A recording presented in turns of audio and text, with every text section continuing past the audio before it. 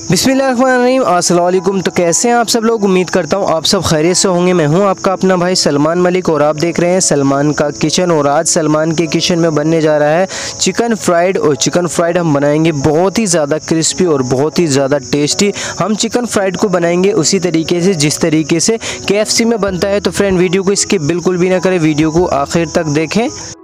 बिस्मिल्लाहिर्रहमानिर्रहीम तो चलिए जी बना लेते हैं चिकन फ्राइड केएफसी स्टाइल से। और सबसे पहले हम क्या करेंगे? चिकन को हम करेंगे मैरिनेट। और मैरिनेट करने के लिए हमने एक छोटी सी प्यारी सी बाउल में चिकन को ऐड कर देंगे। चिकन हमने हड्डी वाला और बिना हड्डी वाला लिया है। तो सबसे पहले इसमें हम डालेंगे हाफ़ टेबल स्पून नमक और साथ ही इसमें हम डाल देंगे हाफ़ टेबल स्पून के बराबर ब्लैक पेपर, यानी काली मिर्च का पाउडर। और साथ ही इसमें हम डालेंगे दो टेबल स्पून अदरक लहसन का पेस्ट। और साथ ही इसमें हम डाल देंगे वन टेबल स्पून भर करके लाल मिर्च पाउडर। आपके पास में पेपरिका पाउडर है तो वो भी डाल सकते हो, लेकिन मेरे पास में पेपरिका पाउडर नहीं थी तो मैंने इसमें लाल मिर्च पाउडर डाल दिया है। और साथ ही साथ इसमें हम डालेंगे आधा लेमन का जूस आपके पास में विनेगर हो तो आप विनेगर डाल सकते हो। और लेमन का जूस डालने के बाद इसको हमने एक मरतबा अच्छी तरीके से मिक्स कर देंगे। और जो लेमन के जूस डालेंगे, उसमें जो बीज होंगे, बीज को हम रिमूव कर देंगे।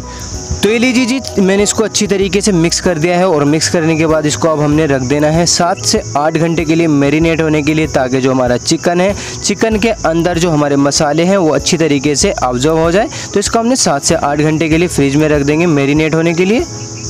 तो चलिए जी, अब हम इसकी कोटिंग तैयार कर लेंगे और कोटिंग तैयार करने के लिए हमने आधा कप ले ली है मैदा। ये हमने छोटा वाला कप लिया है, उससे आधा कप मैदा ली है और आधे से भी आधा कप इसमें हम डालेंगे कॉर्नफ्लोर यानी कि कॉन्स्टच और साथ इसमें हम डालेंगे हाफ़ टेबल स्पून के बराबर लाल मिर्च पाउडर। वन टेबल स्पून भर करके डालेंगे इसमें हमने अदरक, लहसन का पेस्ट और हाफ़ टी स्पून के बराबर ब्लैक पेपर और साथ इसमें हम डालेंगे हाफ़ टेबल स्पून के बराबर नमक। और नमक डालने के बाद इसमें भी हमने कोटिंग में भी हमने डाल देना है। लेमन का जूस हमने आधा लेमन ले लिया था तो उसका इसमें जूस डाल देंगे और बीज को हम रिमूव कर लेंगे। और ये डालने के बाद इसमें हमने थोड़ा सा पानी डालेंगे और पानी डालने के बाद इसको हमने एक मरतबा अच्छी तरीके से मिक्स करेंगे। पानी हम इसमें एक साथ ही नहीं डालेंगे सारा, नहीं तो जो हमारी जो बेटल होगा, बेटल के अंदर लम्स या गुड़िया पड़ जाएँगी। थोड़ा थोड़ा करके पानी डालेंगे और पानी डालने के बाद इसको हमने एक मरतबा अच्छी तरीके से मिक्स करेंगे और मिक्स करते हुए इसका एकदम परफेक्ट बढ़िया सा बैटल बना करके तैयार कर लेंगे। तो ये लीजिए जी हमारा जो बैटल है वो बन करके तैयार हो चुका है। मैंने इसमें तकरीबन तीन मरतबा पानी डाला है और पानी मैंने एक साथ ही नहीं डाला थोड़ा थोड़ा करके इसमें पानी डाला है और ये जो हमारा बैटल है, वो बहुत ही बढ़िया, एकदम परफेक्ट सा बन करके तैयार हो चुका है।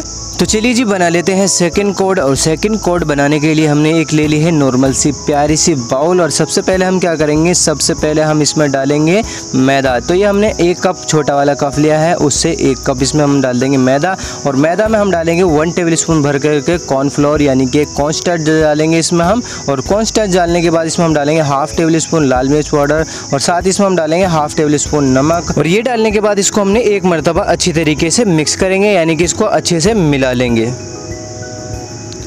तो ये लीजिए जी, मैंने इसको अच्छे से मिक्स कर लिया यानी कि दूसरी कोडिंग भी हमारी तैयार हो चुकी है। तो चलिए जी, हमारी दोनों कोडिंग तैयार हो चुकी है और जो हमने चिकन को मैरिनेट होने के लिए रखा था छः से सात घंटे के लिए, वो भी हमने ले लिया है। तो सबसे पहले हम क्या करेंगे, चिकन का कोई भी एक पीस ले लेंगे और जो हमने सबसे वाली, फ़र्स्ट वाली कोडिंग ली थी, उसमें इसको हमने अच्छी तरीके से डिप कर लेंगे, यानी कि जो हमारा बैटल है, वो इसको ऊपर अच्छे से चढ़ा लेंगे। और बैटल चढ़ाने के बाद में हमने सेकेंड कोडिंग में इसको अच्छी तरीके से लगाएँगे, यानी कि इसको अच्छे से ऊपर से कोडिंग लगा लेंगे, यानी कि जो डस्ट वाली है, यानी कि सूखी वाली कोडिंग है, वो इसको ऊपर अच्छे से लगाएँगे। हाथों से बीच बीच करके इसके ऊपर अच्छे से कोडिंग चढ़ा लेंगे हम। तो चलिए जी, मैंने इस पर दूसरी वाली कोडिंग भी अच्छी तरीके से चढ़ा ली है। अब हमने इसको एक मरतबा अच्छे से झटक लेंगे, यानी कि इसको अच्छे से झाड़ेंगे और झाड़ने के बाद में इसको हम रखेंगे एक प्यारी सी प्लेट में और इसी तरीके से और बाकी के जितने भी हमारे चिकन के पीसीस है, उनको भी हमने इसी तरीके से तैयार कर लेंगे। तो चलिए जी, हमने एक नॉर्मल सी प्यारी सी कढ़ाई में ऑयल को गर्म करने के लिए रख दिया है और जैसे ही हमारा जो ऑयल है वो हल्का सा गर्म हो जाएगा तो इसमें हम ऐड करेंगे जो हमने चिकन को कोड करके रखा था। वो सारे चिकन के पीसीस एक एक करके इसमें हमने ऐड कर देंगे। यानी कि जितनी बड़ी आपकी कढ़ाई है, उसके हिसाब से आप इसमें उतने पीसीस ऐड कर सकते हो और पीसीस ऐड करने के बाद में इसको हमने तकरीबन सात से आठ मिनट तक पकाएँगे। जब तक जो हमारा चिकन है, वो अच्छी तरीके से अंदर तक नहीं पक जाता, तब तक इसको हमने इसी तरीके से मीडियम टू लो फ्लेम पे पकने के लिए रख देंगे। और बीच बीच में हमने इसको क्या करना है अलटते पलटते रहेंगे ताकि जो हमारा चिकन है, चारों तरफ़ से अच्छी तरीके से सीख जाए तो इसको हमने बीच बीच में अलटते पलटते हुए, चलाते हुए तकरीबन सात से आठ मिनट तक पकाएँगे।